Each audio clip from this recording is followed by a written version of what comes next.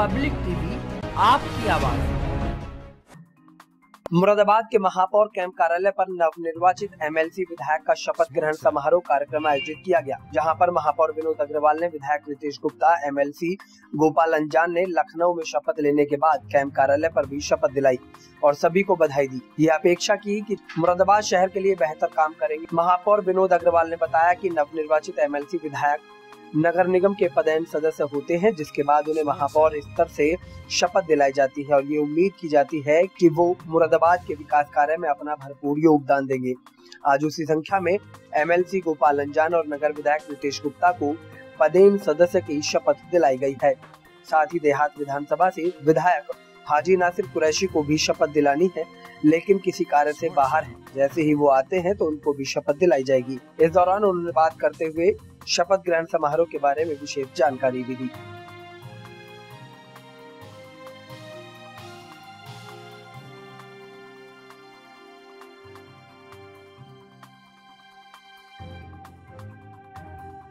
Smart Sound.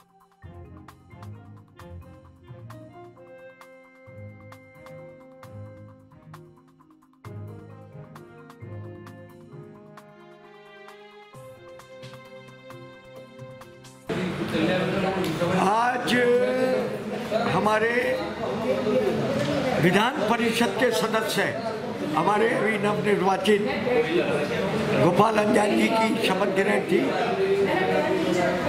Vidhan Parishad में आपने अभी शपथ ली है और नगर निगम में भी पदेन सदस्य होने के नाते इनको आज शपथ दिलाई गई।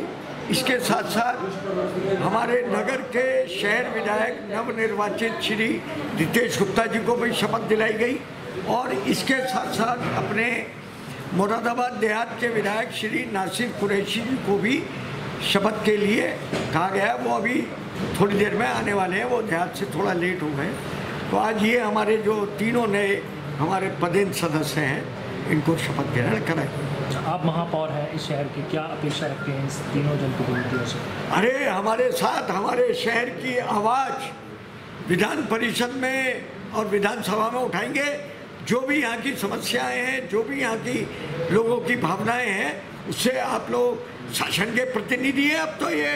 अब इनको पूरा अधिकार है कि मुरादाबाद में किसी भी प्रकार के किसी भी प्रश्न का किसी भी अधिकारी से किसी भी तरीके के लिए सदन में अपना लिखित प्रश्न करने के अधिकारी हैं।